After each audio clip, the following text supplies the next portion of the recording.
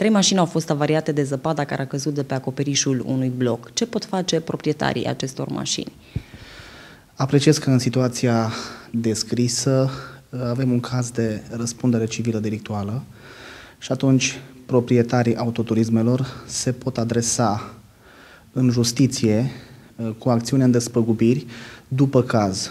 Uh, în situația în care acoperișul uh, a fost executat de o firmă ulterior, adică a fost o modificare a proiectului blocului și nu era prevăzut cu parazăpezi care să încetinească căderea zăpezii și topirea acesteia, este posibil să atragă răspunderea civilă delictuală a constructorului, iar în situația în care uh, au fost uh, prevăzuți parazăpezi pe acoperiș, ar fi posibil să se atragă răspunderea proprietarilor de imobile, care, în mod normal, trebuiau să prevadă și să ia măsuri uh, pentru a dezăpezi uh, acoperișul.